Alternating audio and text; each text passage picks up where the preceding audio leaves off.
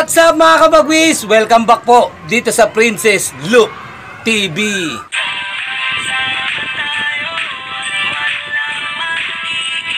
For today's video mga kabagwis, ito na po ang pinakahihintay nating araw para i-load ang ating mga kalapate para sa derby mga kabagwis. Ito na po ang loading time para po sa first lap ng ating pong derby sa PFC.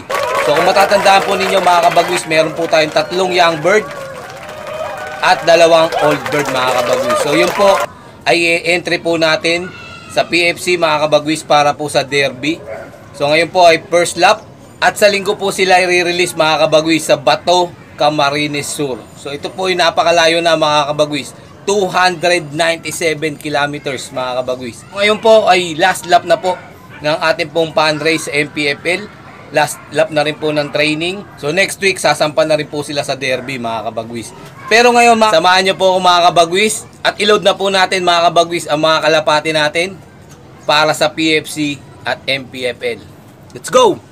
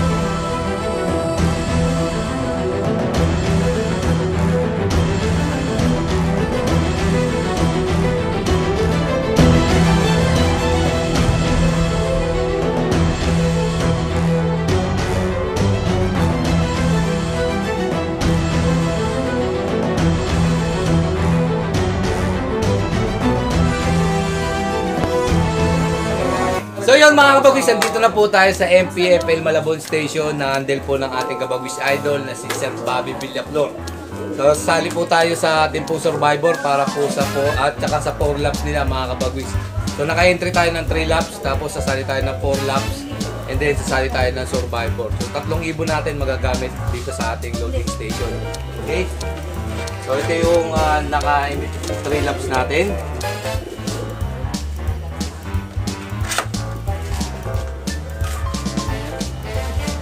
MPFL, MPFL din.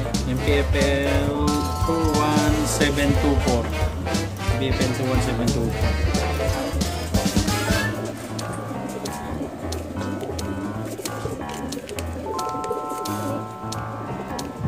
Tinlagay ko na.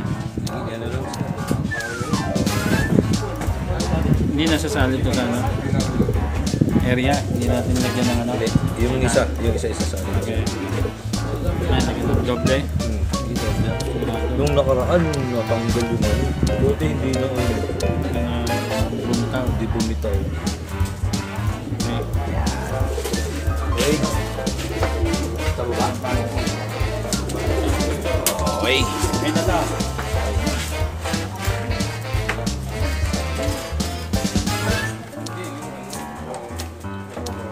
So dito po sa MPFL Malabon Station kay Sir Bobby Villaflor, meron po tayong area pooling na 4 laps po. So isasali po natin yung isa nating ibon sa mga kabagwis idol po natin dyan. Pwede kayong sumali dito. Sa mga malalapit po rito sa MPFL Malabon Station, pwede po kayo mag-load dito at sumali sa ating pong ah, Survivor at saka 4 laps po. MPFL Malabon Station. Depende, no? Pag-absorb ba natin to? Mm. Sorry. Two,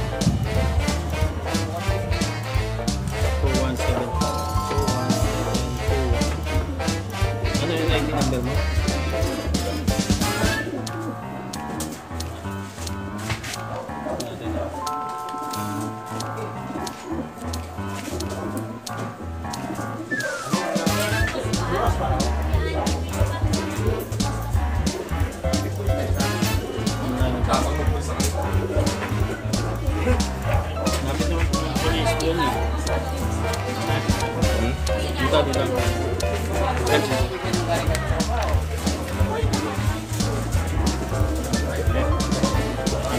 So dito mga kabagwis dahil uh, naka-video naman tayo, so okay lang na tayo nagpapasok pero kapag ka hindi po yan naka-video, usually yung mga coordinator or yung assistant po na coordinator nagpapasok. Hindi po pwede yung player ang magpapasok sa mga crates kasi pwede ma-disqualified yung ibon or yung naglalaro yung player.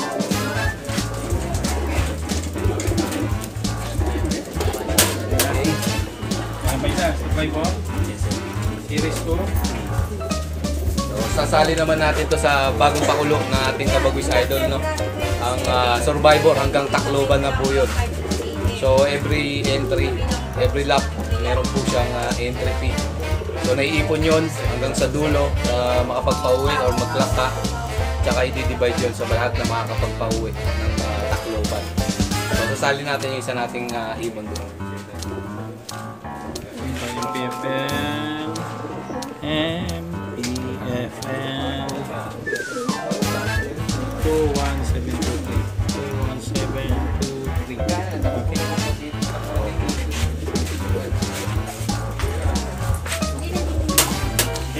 Yun, maraming maraming salamat po mga kabagwis sa pagsuporta po dito po sa MPFL Malabon Station.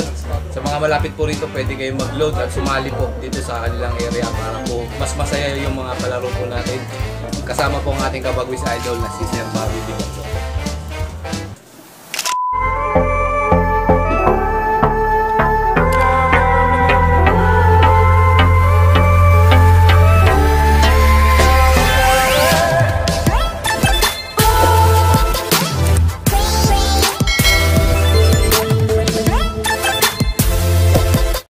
Mga kabagwis? Nandito na po tayo sa ating loop mga kabagwis and welcome back po dito sa ating Princess Loop TV mga kabagwis.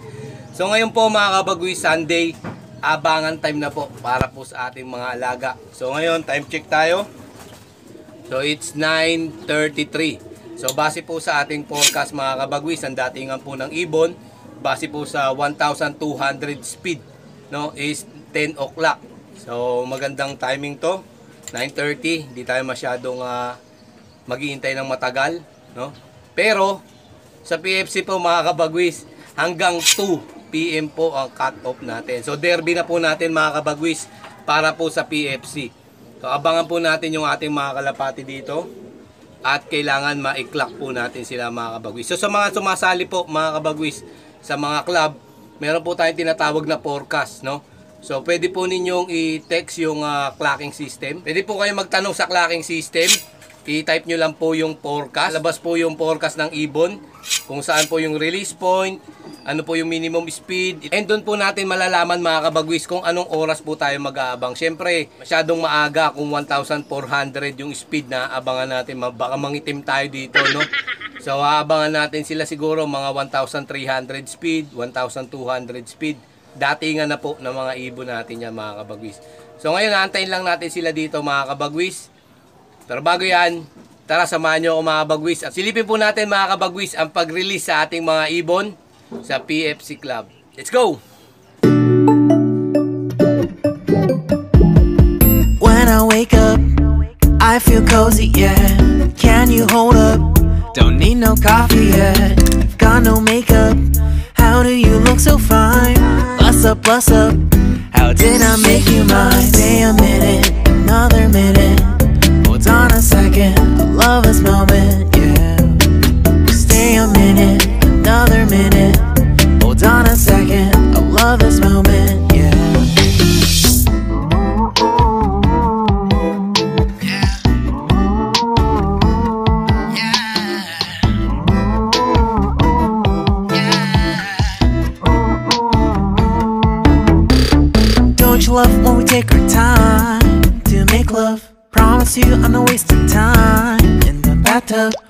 Gotta rush, no.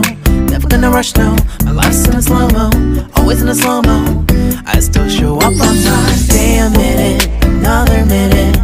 Hold on a second, I love this moment,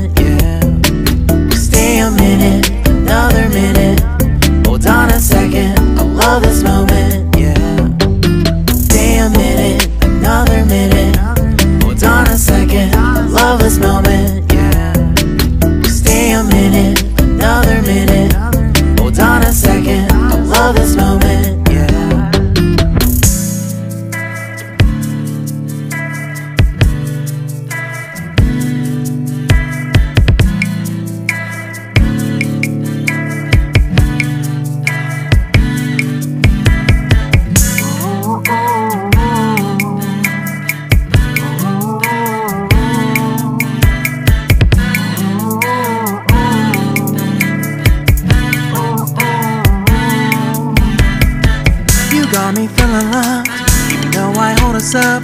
Let me know if you ever think that I am being too much. You got me feeling love, even though I hold us up.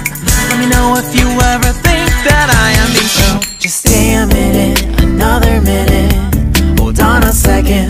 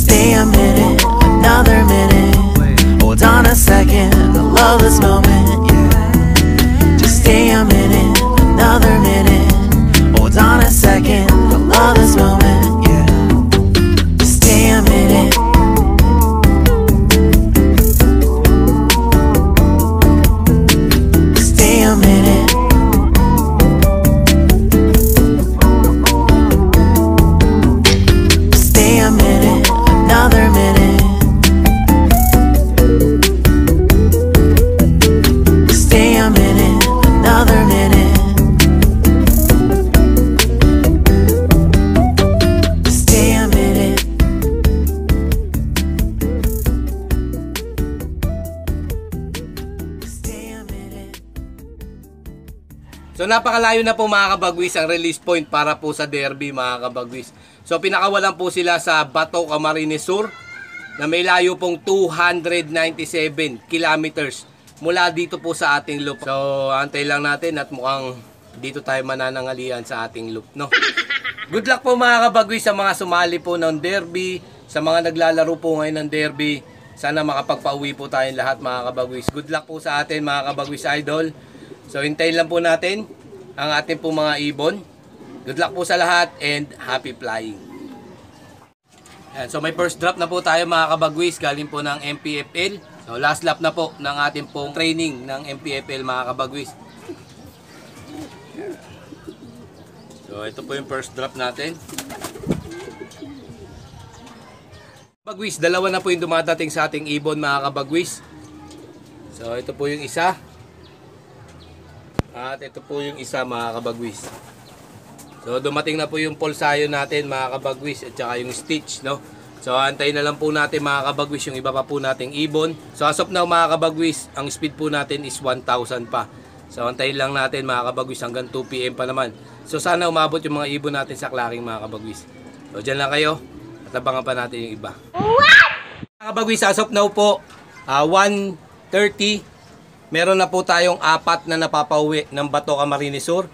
So, tatlong young bird kompleto na po. So, last drop po natin ng young bird. Ito pong ah, white brother natin. Yan, nakita nyo, basa pa siya. Kasi umuulan na po parting ah, QC. No? So, yung mga ibon natatawid ng QC, talagang siguradong basa yung ibon natin. Good to say, dahil malakas yung loob nito ni white brother at ah, nakatawid siya dun sa umuulan. No? And um, kompleto na po tayo. Meron na tayong tatlong young bird dito. So, ito po yung first drop natin. And then, ito po yung ah, young bird na second drop natin. Yan, nanginginain na. At ito yung old bird natin, mga kabagwi. So, isa na lang po kulang natin. Sana wag po tayong mabutasan sa first lap na to. Kasi ito yung pinaka mahirap na lap para sa akin. No? Kasi ang first lap, ah, mahaba, mahaba yung uh, liliparin ng ibon, malayo. Pero yung cut-off niyan is maiksi lang. So as of 2 p.m. cut-off na po tayo. But good to say mga kabagwis, nakaabot po yung ating pong mga young bird at yung isa nating old bird.